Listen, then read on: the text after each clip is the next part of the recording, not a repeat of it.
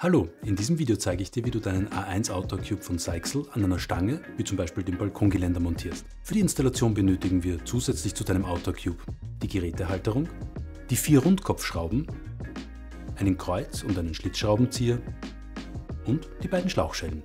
Du kannst deinen Cube sowohl an einer vertikalen als auch an einer horizontalen Stange montieren.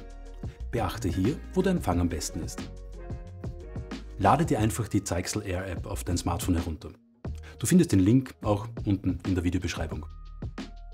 Verbinde dein Smartphone mit dem WLAN des A1 Outdoor Cubes.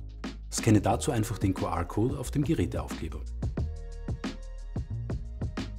Du kannst dich alternativ mit den Zugangsdaten auf dem Geräteaufkleber ins WLAN einwählen.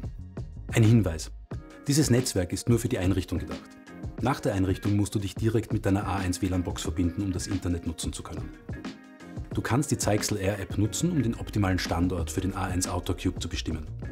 Halte den Outdoor Cube an mögliche Montageplätze und teste verschiedene Geräteausrichtungen.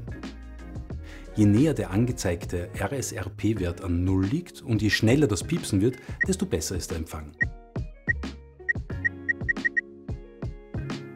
Für die Montage befestige die Gerätehalterung mit den vier Rundkopfschrauben auf der Rückseite des Outdoor Cubes.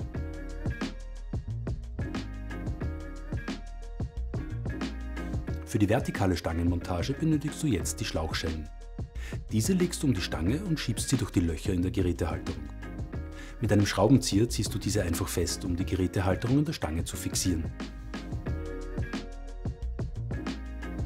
Für die horizontale Montage einfach dieselben Schritte durchführen, aber die Gerätehalterung horizontal montieren, also 90 Grad gedreht.